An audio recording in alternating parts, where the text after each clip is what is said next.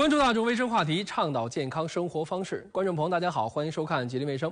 我们的公众微信平台正在开通，您在收看节目的同时呢，可以拿出手机扫描屏幕下方的二维码，添加我们的公众微信账号“吉林卫生”。你也可以用微信直接搜索“吉林卫生”，添加我们。同时呢，还可以拨打我们的二十四小时新闻热线零四三幺八八五零一二三四，把您最关心的问题告诉我们，我们会在最短的时间内给您做出最专业的回答。那首先还是来看一下本期节目都为您准备了哪些内容。多学科诊疗模式，简称 MDT，源于上世纪九十年代，即由来自多个科室的专家组成的工作组，针对某一疾病，通过定期会议形式，提出适合患者的最佳治疗方案。在今天的节目当中，从北京一路奔波来到长春市参加多学科会诊的权威专家，会给患者和观众带来哪些建议呢？敬请关注本期吉林卫生北京专家讲肿瘤。今天呢，让我们简单的了解一下日常当中的养生小行为吧。一，晨起搓面不长老年斑。用手轻轻搓擦面部啊，有改善面部血液循环的作用。长期坚持可延缓颜面衰老，推迟老年斑产生。二，常运双眼能明目。双手搓热之后呢，用掌心轻捂眼睛，两眼自然闭合。眼球先顺时针啊慢慢转动几周。再相应的逆时针转动，时间呢控制在五分钟左右。说到肿瘤疾病呢，我们都知道啊，这是一种比较复杂的疾病，所以全面的分析对患者是尤为重要。这就表示多学科会诊对于肿瘤患者的帮助是非常大的。我们今天来会诊的专家呢，内科专家叫朱步东先生，朱步东老师，他是北京大学肿瘤医院的内科主任。外科专家呢是我们于长海教授，是三零幺医院的胸外科主任。放疗专家呢是刘元照老师，他是卫生部北京医院的放疗科主任。泌尿外科季志奇老师呢是地坛医院的泌尿科的教授。这些专家呢都是各个学科的顶尖级的专家。画面当中正在接受会诊的是一位来自吉林省扶余市的患者，原本生活幸福的他。却在一次体检中发现自己得了肿瘤疾病，那么现在的他病情如何？他又为什么会来到长春市就医呢？我是八月份做体检，查出来那个肺部是磨玻璃结节影。当时我也没拿它当回事儿，我也不懂啥叫磨玻璃结节影。后来我找医生，胸外科的医生问一下，他说得做穿刺。得看看是恶性还是良性，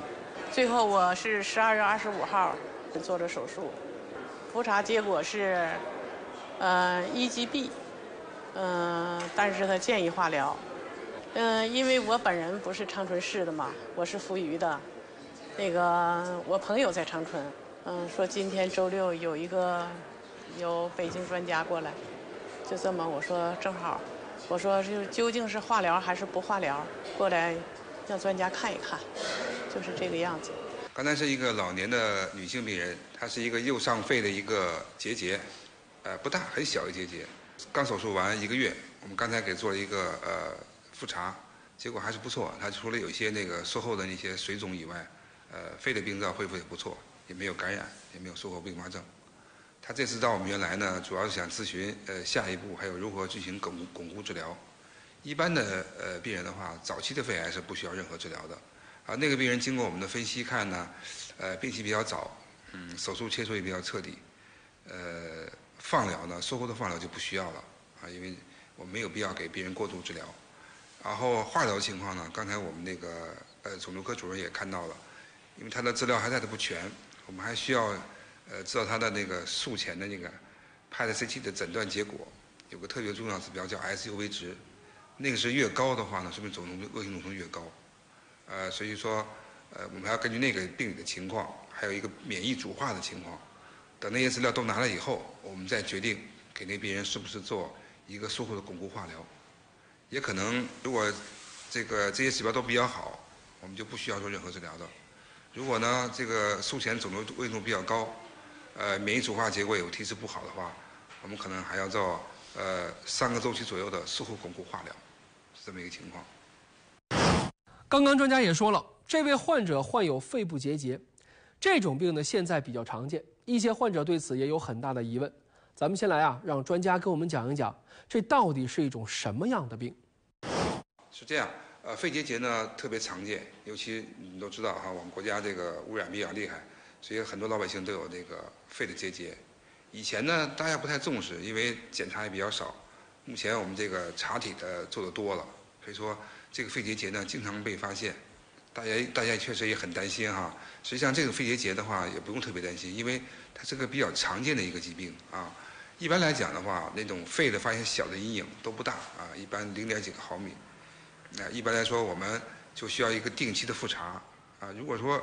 有了，我们不要特别紧张，我们就大约是每隔半年或甚至于一年，我们就复查一次，去进行观察啊。如果说这个结节没有变化，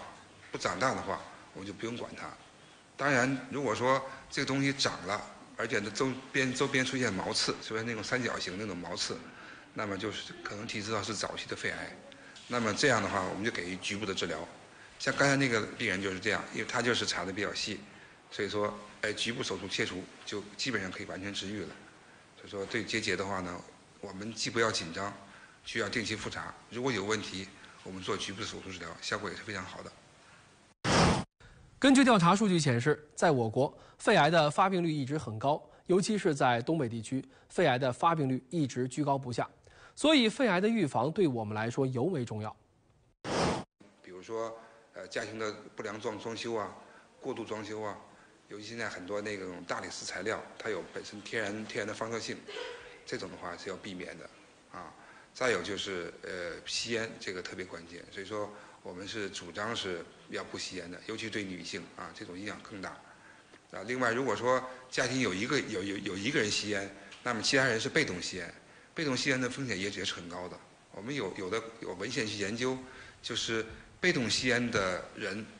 他的得肺癌的损这种概率跟每天吸一包的人是一样的。实际上，我们的预防主要从环境、个人的习惯，还有一些家庭装修这几方面去考虑。